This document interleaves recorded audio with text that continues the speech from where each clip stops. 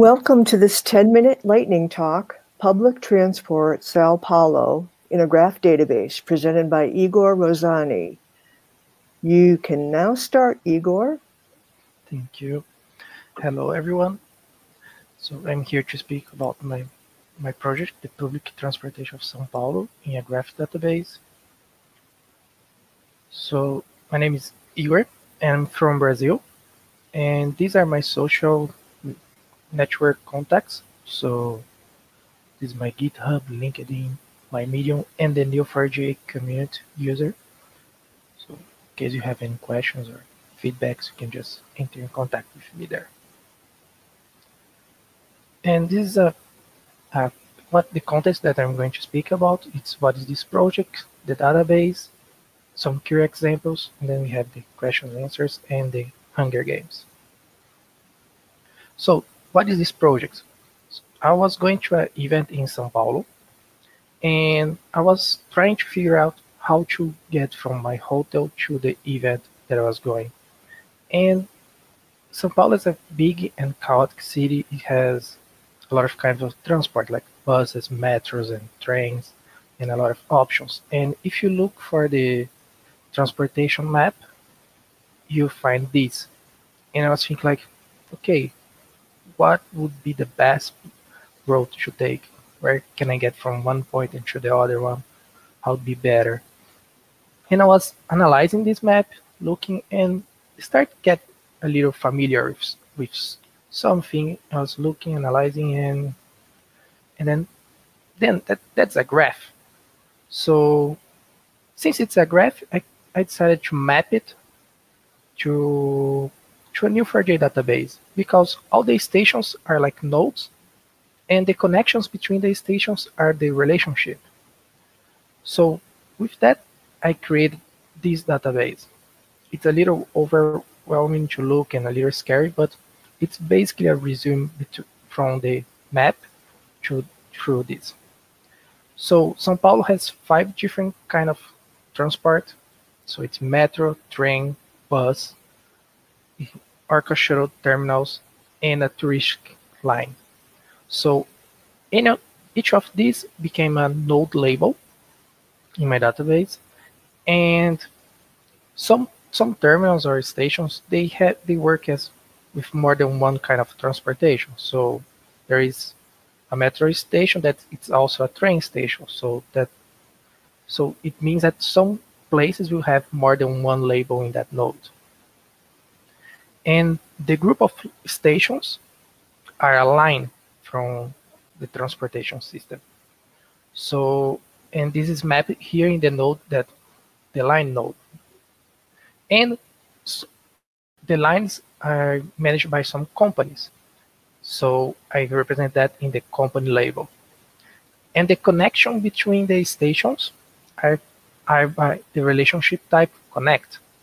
And there I have the data that the kind of transport that they are. For example, if it's like a bus, if it's a train, or if it's a metro. So for I decided to get, since I mapped that, I could extract some data from it. So I have here, here some few examples. So which line does a company own? So with that, I can do this query, like match the company with the lines and by the relationship on and that we can get the company line the company and the lines that that is managed by them. So for example here we have the cptm that owns the lines ruby diamond emerald. Another example is what stations of is part of which line. So it's another simple query that we just look for the, the, the nodes with the type line that has a relationship of the type part of, and we group this the the station's name, and we have this this data. So a blue the blue line have the stations Jabaquara, Tiradentes, and all these other ones. Another example is how many stations have each line it's a really similar to the previous query, but in this time, instead of returning the list, I'm just doing a count. So, and with this, I discovered what which one is the biggest line from São Paulo and which one are, are the smallest ones. So here we see like blue line is the biggest one and Orca Shuttle Service and Airport Express are the smallest ones. And and the main question that I wanted to answer was how can I get between between stations? So here in the example, I got two extremely distant points like Grajaú, that's in under in the Esmeralda line, and Rio Grande da Serra, that's in the other point, other part of the city.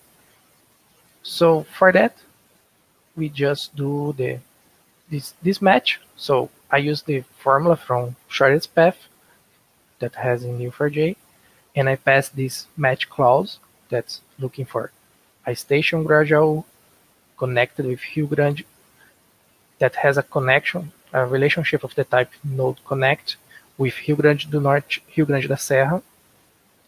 And I just say like, I don't set a limit. I just say like as many stations as you need to get this path.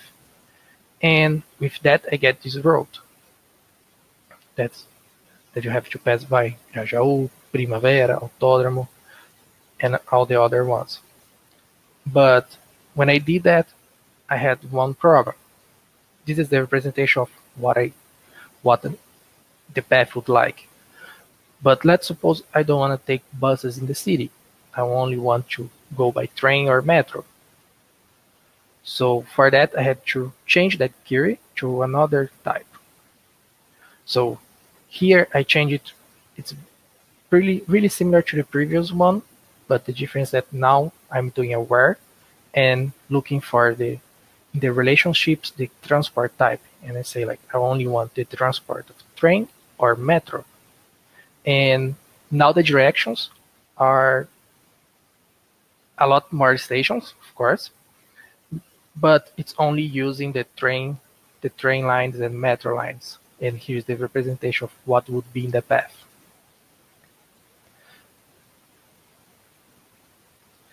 And this this project is it's really simple and it's available on on GitHub. So this is the my repository address. You can just go there, check it, give any if you have any feedback, just create a issue or a pull request. Feel free feel free to play it and use it. And that's it, my presentation. And do you have any questions? and thank you and this is my hunger games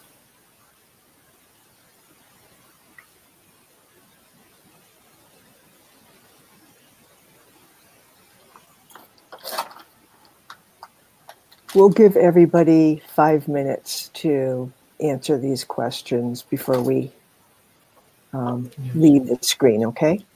Okay.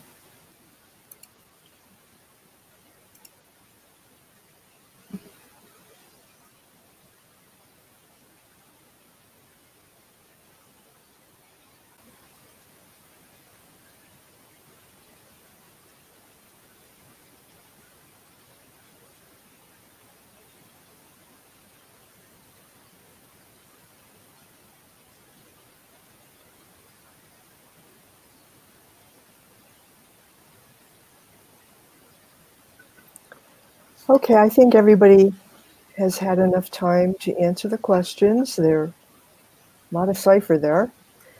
Um, thank you very much, Igor, for posting the information about your project on GitHub. We appreciate that. And um, thank you very much for presenting to us today. Thank you so much for the opportunity. Okay. You're welcome. Have a good event. Thank you. Bye-bye.